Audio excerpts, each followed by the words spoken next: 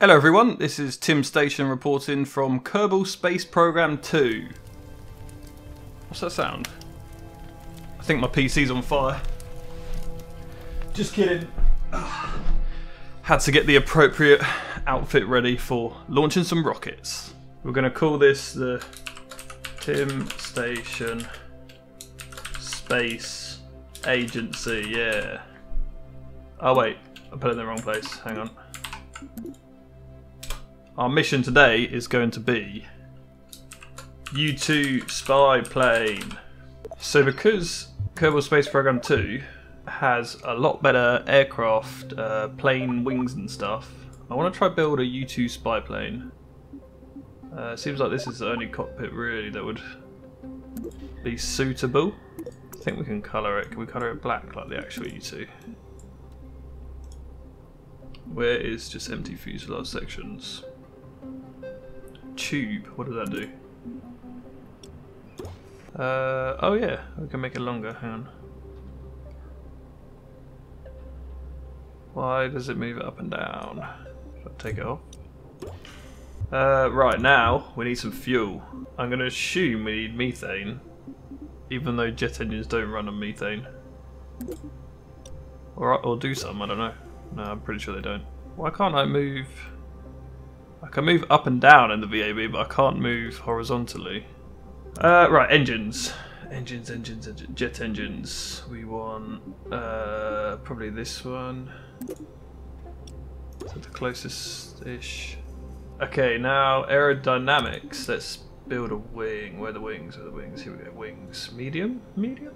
The reason why I want to build a U2 is because of this cool little uh, wing designer where you can uh, basically make uh, custom wing shapes because you wouldn't be able to make a wing like this on the old KSP and I think that's that's pretty cool.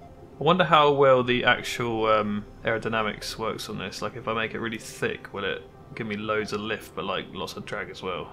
Wait why is, hang on a sec, hang on a sec, hang on a sec, why is one wing upside down? I've got it on the symmetry mode. There we go one wing there. Oh, there we go. This blueprint mode is pretty cool where you can just like... Oh, not like that. It's like working in CAD, but it's KSP. Uh, now we need our elevator. Uh, not like that. Okay, I've just looked at some pictures of the actual U2 spy plane the wing uh, like taper is actually a lot more than what I've got here, so it's quite a thick root. Alright, that kind of looks like a U2 spy plane, doesn't it? Uh, actually, we need to have we need to have air inlets because otherwise the engines can't breathe. So we put those like that. Looks really, really good. Okay, now we we need to add the little fuel pods onto the wing, like the real one. So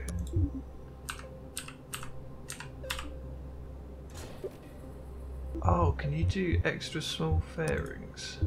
you can. Yes. Right, so now we can do this. Oh, yes. Oh, yes. Perfect. Oh, yeah. That looks so good. One wheel just by the centre of mass, and then we want to put another wheel a bit further back. Yeah, that looks good. Uh, last thing we need is the wheels on the wings, which are actually detachable on the real one, I believe. Pretty sure when it takes off, the wing wheels just like fall off. So uh, we need a decoupler. Hey, I think this might be ready for a test flight.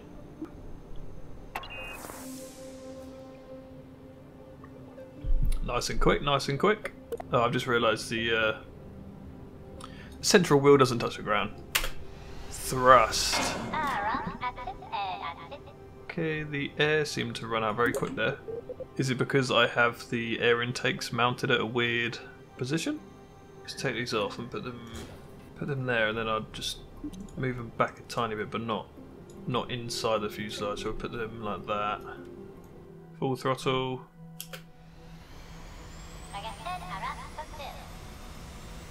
It's not running out as quick. It's going down. I don't know why. And take off. Oh yeah, so we can drop this landing gear, put the main gear up, and now, oh wobbly. So it seems to have quite a good thruster weight as we're climbing so quick. Sounds like the engine is uh, losing thrust. But we're only at 4,000 meters, so we should be able to go quite a bit higher. It does look amazing though. You have to admit, this does look cool. Okay, we're still climbing at a pretty steady rate. Uh, we're about holding about the same speed, 150 meters per second. Uh, actually accelerating slightly, and we're just about to cross 10,000 meters in altitude. There we go, 10,000. Come on though, we've got to go higher. We're, we're still travelling quite quick. Come on, I want to see the stars. Oh, wait, there's the stars. But I want to see the curvature. Oh, we already see the curvature. I want to go higher. Come on, higher. Okay, we're at 12,000. And the controls are starting to feel a bit wobbly. As in, like, they don't do a whole lot. You can see if I track behind the plane, it's slightly, like, yawing to the side. Come on, come on, come on! How much angle of attack do I need to keep keep in the air? Feels like I'm just sort of like riding a wave through the atmosphere. It's probably not the most efficient way of flying. Right, let's try and trade the speed for altitude now. Ready? Pull up. Come on. How high can we go? Don't stall it, don't stall it, don't stall it. 13,000... Almost 13,400. It's not going much higher than that, I don't think. Right, I think we need to head back.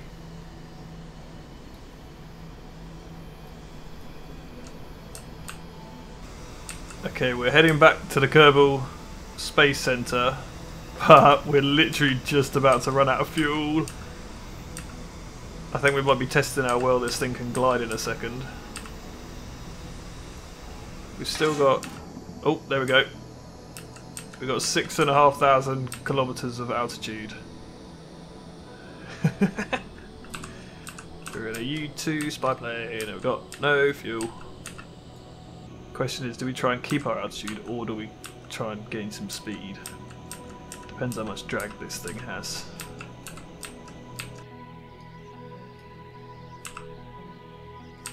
I thought I'd pause the game then, it was flying so slow. Come on, we can make it back! It's a good job this thing was built like a glider, because it looks like we're making it home. Let's put out the wheels, give us some braking maybe. Here we go. U2 empty of fuel coming in for landing.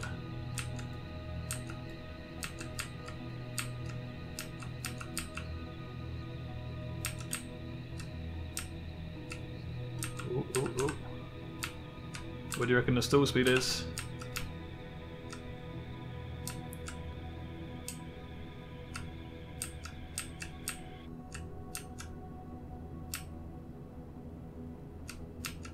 Nice touchdown, nice touchdown was that 22 meters per second. Can we keep it level? Let's put the brakes on. Oh, no. right, now I think it's time to launch this plane to another planet to see if we can spy on some aliens or something. Uh, I believe the only other planet, or it's actually technically a moon, that has uh, an atmosphere that can use jet engines is Laythe, which orbits. Is it Jool? I can't remember where it orbits. Uh, let's put it into the... Uh, here it is. Laythe. Yeah, so orbits Jool, so we need a lot of delta V to get there. I'm going to do a one-way trip, just makes it a bit more viable. Let's see how we can get there. So I'm going to scrap the wheels that normally the U2 has on it. Do we launch this on top of a rocket, or do we add rockets to it and fly it like a plane? I'm going to try the second one first, I think. So we do. it looks like it's just got two huge missiles on the wing of a U2. Uh, right, we might need to add some struts. Okay, so jet engine, two outside rockets. Okay, let's launch this uh, very terrifying looking U2 in three, two, one, launch.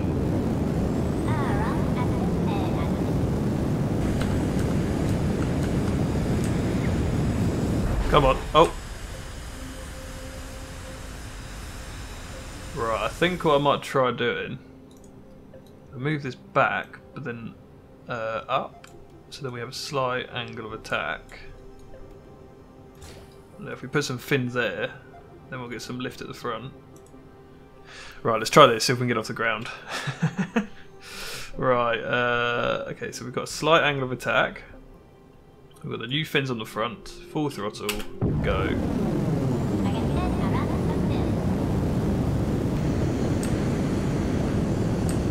There we go, there we go, there we go. Come on. Okay. They're gonna run out any second. Separate the boosters. Oh no, oh no, oh no, oh no, oh no, oh no. Okay, that worked. No, we're never going to get to Laythes with this. No, I'm quitting that. There's no way we're going to get to Laythes. We can barely get to orbit. Maybe we do need to launch this on top of a rocket. Okay, this is the upper stage. that's going to get us to Laythe. Uh, and now we need a lower stage. Hmm. We might need some big fins on this because of the massive wings up front. Good job. We've got procedural wings, so we can do large wings on it. Let's do let's do control surface instead of wings. I think we're ready for launch. 11,400 meters per second, apparently. Uh, apparently, all the delta V's are calculated in. Oh, I'm on the runway. Yeah, apparently all the delta V's are calculated uh, for vacuum performance, not for uh, atmosphere performance. Which is a bit weird. Right, launching from the runway. I apologise to the next plane that taxis. You're going to have a few potholes to go through. Oh, hang on, hang on, hang on, hang on, hang on. Hold that, hold that, no!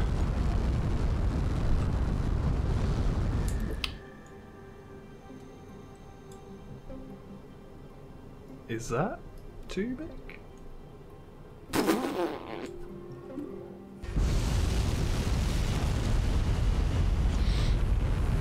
Okay, come on, we've got to be a bit more stable this time.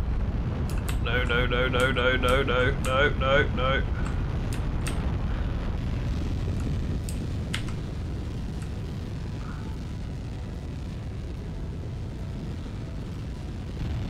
Okay, test number two.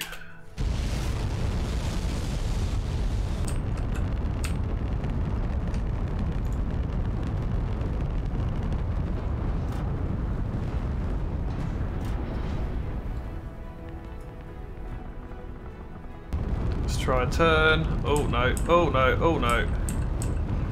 Oh no, no, no, no, no, no, no, no, no, no, no, no, no. Let's try this again.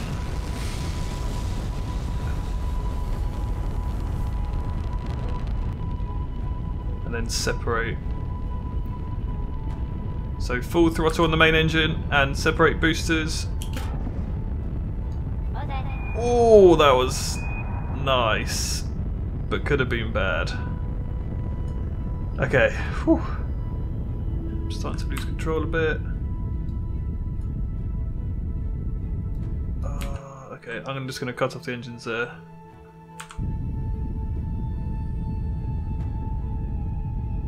No, no, no, no, no, no, no, no, no. It's because uh, the thrust offset, isn't it? Right, so hopefully this is it. I've got uh, some extra hydrogen tanks at the top to balance out the weight of the U2. Uh, fins are just as large as always. Let's give this a test. It's like half sitting on the fins, half sitting on the rocket rocket engine. okay. Uh, let's just keep it. Let's go straight up for now. The fins are so wobbly. Come on! Fight the fight the rocket! This could be it, this could be it. Come on. Okay. Full throttle. Boosters are about to turn off. There we go. Booster separation. Oh, just missed me. So far, it's following where I want it to. Okay, now coast up to 120. Let's see if we can get it into orbit. Maneuver. Okay, that'll be not a very circular orbit. Now I have RCS on this, but I don't really want to waste the monopropellant, so what I'm going to do instead is just slowly increase the throttle and use the thrust vectoring to bring us to the right uh, direction. And boost, let's go. So one of the best things about KSP2 is that you can fast forward the uh, boost period, which is so useful because this would take forever otherwise. When I say forever, it was only about 50 seconds. But now, cut the throttle in orbit. Let's see how we can get to Laythe, because I have no idea how to get to Laythe. I suppose first of all we need to get out of Earth's sphere of influence.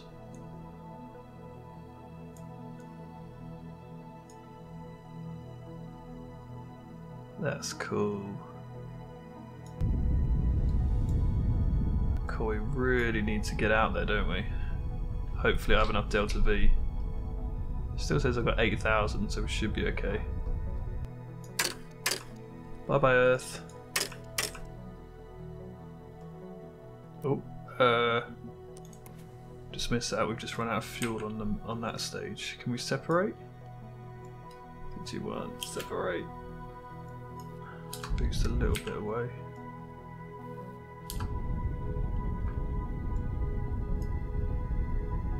Wait, why am I not focusing on my plane? Why is this not focusing on the plane? Let's go to map view and then we'll cancel out this thing and then we'll see how it goes. Something's not going quite right for some reason. So my plane's disappeared.